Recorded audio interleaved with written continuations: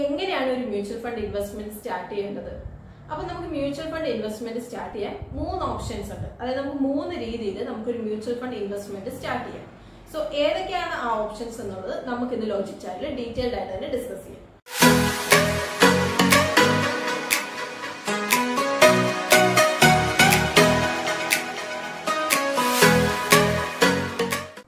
എന്താന്നുള്ളത് ഓപ്ഷൻ എന്താണെന്നുള്ളത് നമുക്ക് നോക്കാം. അപ്പൊ ഫസ്റ്റത്തെ ഓപ്ഷൻ എന്താ വെച്ചിട്ടുണ്ടെങ്കിൽ അസറ്റ് മാനേജ്മെന്റ് കമ്പനീസിനെ കോൺടാക്ട് ചെയ്യുന്നതാണ്. അപ്പൊ എ എം സി അപ്പൊ നിങ്ങൾ എവിടെയെങ്കിലും എ എം സി എന്ന് കാണുന്നുണ്ടെങ്കിൽ നിങ്ങൾ മനസ്സിലാക്കുക അതുകൊണ്ട് ഉദ്ദേശിക്കുന്ന അസറ്റ് മാനേജ്മെന്റ് കമ്പനീസ് എന്നാണ്. അപ്പൊ അസറ്റ് മാനേജ്മെന്റ് കമ്പനീസ് വന്നിട്ടുണ്ടെങ്കിൽ നമ്മുടെ S B I I C I C I H D F C Axis ഇതൊക്കെയാണ് അസറ്റ് മാനേജ്മെന്റ് കമ്പനീസ് അപ്പം ഇവരുടെ അടുത്ത് നമുക്ക് ഓൺലൈൻ ആയിട്ട് നമുക്ക് രജിസ്റ്റർ ചെയ്യാം. ഇവരുടെ സൈറ്റിൽ പോയിട്ട് നമുക്ക് ഓൺലൈൻ ആയിട്ട് നമുക്ക് രജിസ്റ്റർ ചെയ്യാൻ സാധിക്കും. അതുപോലെ തന്നെ ഓഫ്ലൈൻ ആയിട്ട് ഇവരുടെ ഓഫീസിൽ പോയിട്ടും നമുക്ക് ഒരു മ്യൂച്വൽ ഫണ്ട് രജിസ്റ്റർ ചെയ്യാൻ വേണ്ടി സാധിക്കും. ഫോർ എക്സാമ്പിൾ ഇപ്പൊ നമ്മൾ ഒരു എച്ച് ഡി എഫ് സിനെയാണ് കോൺടാക്ട് ചെയ്യുന്നതെങ്കിൽ നമുക്ക് എച്ച് ഡി എഫ് സിയുടെ മ്യൂച്വൽ ഫണ്ട്സിൽ നമുക്ക് രജിസ്റ്റർ ചെയ്യാം. നിങ്ങൾക്ക് അവൈലബിൾ ആയിട്ടുള്ള സെക്കൻഡ് ഓപ്ഷൻ എന്താണെന്ന് വെച്ചിട്ടുണ്ടെങ്കിൽ ഒരു മ്യൂച്വൽ ഫണ്ട് ഡിസ്ട്രിബ്യൂട്ടറിനെ അല്ലെങ്കിൽ ഒരു ഏജന്റിനെ കോൺടാക്ട് ചെയ്ത് നിങ്ങൾക്ക് ഒരു മ്യൂച്വൽ ഫണ്ടിൽ നിങ്ങൾക്ക് രജിസ്റ്റർ ചെയ്യാം. അപ്പൊ നിങ്ങൾ ഇങ്ങനെ ചൂസ് ചെയ്യുകയാണെങ്കിൽ നിങ്ങൾ ഒരു ചെറിയൊരു പോർഷൻ നിങ്ങളുടെ കമ്മീഷനായിട്ട് പേ ചെയ്യേണ്ടതായിട്ട് വരും. അപ്പൊ നിങ്ങൾ ഇങ്ങനെ ഒരു ഓപ്ഷനാണ് ചൂസ് ചെയ്യുന്നതെങ്കിൽ നിങ്ങളുടെ പേപ്പർ വർക്ക് ഒക്കെ ഇവർ തന്നെ നിങ്ങൾക്ക് ചെയ്തു തരും. അതുപോലെ തന്നെ നിങ്ങളുടെ ഫിനാൻഷ്യൽ ഗോൾ അനുസരിച്ച് നിങ്ങൾക്ക് നല്ലൊരു മ്യൂച്വൽ ഫണ്ട് അവർ നിങ്ങൾക്ക് ചൂസ് ചെയ്തു തരും. അതായത് നിങ്ങൾക്ക് എപ്പോഴും ഒരു ഹെൽപ്പിംഗ് ഹാൻഡ് നിങ്ങളുടെ കൂടെ ഉണ്ടാകും.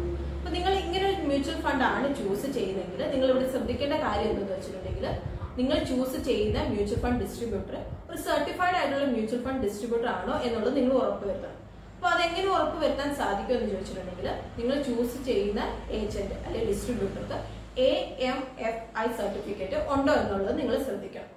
അപ്പൊ നിങ്ങൾക്ക് മ്യൂച്വൽ ഫണ്ട്സിനെ പറ്റി അധികം നോളജ് ഇല്ല. അല്ലെങ്കിൽ മ്യൂച്വൽ ഫണ്ട്സിനെ പറ്റി പഠിക്കാൻ നിങ്ങൾക്ക് നേരമില്ല. ഇങ്ങനെയൊക്കെയുള്ള വ്യക്തിയാണ് നിങ്ങളെങ്കിൽ നിങ്ങൾക്ക് ഈ ഒരു മെത്തേഡ് ഈ ഒരു ഓപ്ഷൻ നിങ്ങൾക്ക് ചൂസ് ചെയ്യാം. അപ്പോൾ ഈ ഒരു മ്യൂച്വൽ ഫണ്ട് ഡിസ്ട്രിബ്യൂട്ടർ നിങ്ങൾ ചൂസ് ചെയ്യുകയാണെങ്കിൽ അവർക്ക് നിങ്ങളെ ഗൈഡ് ചെയ്യാൻ വേണ്ടിയിട്ട് സാധിക്കും. തേർഡ് ഒരു ഓപ്ഷൻ നമുക്ക് അവൈലബിൾ ആയിട്ടുള്ളത് എന്താണെന്ന് വെച്ചിട്ടുണ്ടെങ്കിൽ ഓൺലൈൻ ആയിട്ട് നമുക്ക് മ്യൂച്വൽ ഫണ്ട് വാങ്ങാൻ സാധിക്കും. അപ്പം ഗ്രോ ആപ്പ് വഴി അല്ലെങ്കിൽ സിറോദയൊക്കെ വഴി ഈ ആപ്പൊക്കെ യൂസ് ചെയ്തുകൊണ്ട് നമുക്ക് ഓൺലൈൻ ആയിട്ട് മ്യൂച്വൽ ഫണ്ട് വാങ്ങാൻ സാധിക്കും. അപ്പൊ ഇങ്ങനെ നമ്മൾ ഓൺലൈൻ ആയിട്ട് മ്യൂച്വൽ ഫണ്ട് വാങ്ങുമ്പോൾ നമുക്ക് ഇവിടെ ഒരു കമ്മീഷൻ പേ ചെയ്യേണ്ടി വരുന്നില്ല. അതാണ് ഈ ഒരു ഓപ്ഷന്റെ മെയിൻ ഒരു അഡ്വാന്റേജ് എന്നുള്ളത്. അതുപോലെ തന്നെ നമുക്ക് എക്സ്പ്ലോർ ചെയ്തിട്ട് നമുക്ക് മ്യൂച്വൽ ഫണ്ട് വാങ്ങാൻ സാധിക്കുന്നുണ്ട് അപ്പൊ നിങ്ങളൊരു ഈ ഒരു ഓപ്ഷൻ ആണ് നിങ്ങൾ ചൂസ് ചെയ്യുന്നെങ്കിൽ അങ്ങനെ ഒരു ഓപ്ഷൻ ചൂസ് ചെയ്യാൻ ആഗ്രഹിക്കുന്ന വ്യക്തികളാണെങ്കിൽ നിങ്ങൾ ഉറപ്പ് വരുത്തുക. നിങ്ങൾക്ക് മ്യൂച്വൽ ഫണ്ട്സിനെ പറ്റിയിട്ട് നല്ല നോളജ് ഉണ്ടെന്നും അതുപോലെ തന്നെ മാർക്കറ്റ് ഫ്ലക്ച്വേഷൻസിനെ പറ്റിയിട്ട് അത്യാവശ്യം ധാരണയുള്ള വ്യക്തികൾ മാത്രം ഇതുപോലെ ഓൺലൈനായിട്ട് മ്യൂച്വൽ ഫണ്ട്സ് വാങ്ങാൻ വേണ്ടിയിട്ട് ശ്രദ്ധിക്കുക.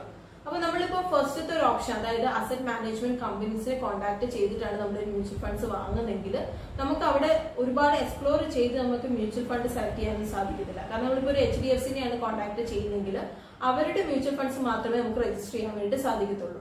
ബട്ട് നമ്മൾ ഈ ഓൺലൈൻ ആയിട്ട് സിറോദ വഴി നമ്മൾ എടുക്കുകയാണെങ്കിൽ നമുക്ക് ഏത് മ്യൂച്വൽ ഫണ്ട്സും എക്സ്പ്ലോർ ചെയ്ത് രജിസ്റ്റർ ചെയ്യാൻ സാധിക്കും എന്നുള്ളത് ഇവിടുത്തെ ഒരു അഡ്വാന്റേജ് മാത്രമാണ്. ഇപ്പൊ കുറെ വ്യക്തികൾ ഈ ഒരു തേർഡ് ഓപ്ഷനിലാണ് മ്യൂച്വൽ ഫണ്ട്സിലേക്ക് രജിസ്റ്റർ ചെയ്യുന്നത്. അവർ ജസ്റ്റ് ഗൂഗിളിൽ സെർച്ച് ചെയ്തു യൂട്യൂബിൽ രണ്ടുമൂന്ന് വീഡിയോസ് കാണുന്നു. അപ്പോഴേക്കും നമ്മൾ മ്യൂച്വൽ ഫണ്ടിൽ എക്സ്പേർട്ട് ആയി എന്ന് കരുതി ഒരു മ്യൂച്വൽ ഫണ്ട് ഡിസ്ട്രിബ്യൂട്ടറിനെ ഒരു ഏജന്റിയോ അല്ലെങ്കിൽ ഒരു ഹെൽപ്പിംഗ് ഹാൻഡ് ഇല്ലാതെ സ്വന്തം മ്യൂച്വൽ ഫണ്ട് സെലക്ട് ചെയ്യാനും അതിൽ രജിസ്റ്റർ ചെയ്യാനും അങ്ങനെ ഇൻവെസ്റ്റ്മെന്റ് സ്റ്റാർട്ട് ചെയ്ത് മുന്നോട്ട് പോകുന്ന ഒത്തിരി വ്യക്തികളുണ്ട്. ബട്ട് ഇങ്ങനെ സ്റ്റാർട്ട് ചെയ്ത് പ്രോപ്പർ നോളജ് ഇല്ലാതെ ഓൺലൈനായിട്ട് രജിസ്റ്റർ ചെയ്യുന്നവർക്ക് ഇവൻച്വലി ഒരുപാട് നഷ്ടത്തിലേക്കാണ് വന്നിട്ടുള്ളതെന്നാണ് സ്റ്റഡീസ് കാണിക്കുന്നത്. സോ നിങ്ങൾക്ക് പ്രോപ്പർ നോളജ് ഉണ്ടെങ്കിൽ മാത്രം ഓൺലൈനായിട്ട് നിങ്ങൾ രജിസ്റ്റർ ചെയ്യാം അപ്പൊ നിങ്ങൾക്ക് പ്രോപ്പർ നോളജ് ഇല്ലെങ്കിൽ നിങ്ങൾക്ക് ഒരു ഡിസ്ട്രിബ്യൂട്ടർ നിങ്ങൾക്ക് ചൂസ് ചെയ്യാം. അവർക്ക് ഒരു ചെറിയൊരു കമ്മീഷൻ നിങ്ങൾ പേ ചെയ്യണമെന്ന് മാത്രം. അപ്പൊ മ്യൂച്വൽ ഫണ്ട് ഇൻവെസ്റ്റ്മെന്റ് സ്റ്റാർട്ട് ചെയ്യാൻ നമ്മുടെ മുമ്പിൽ മൂന്ന് ഓപ്ഷൻസ് ഉണ്ട്.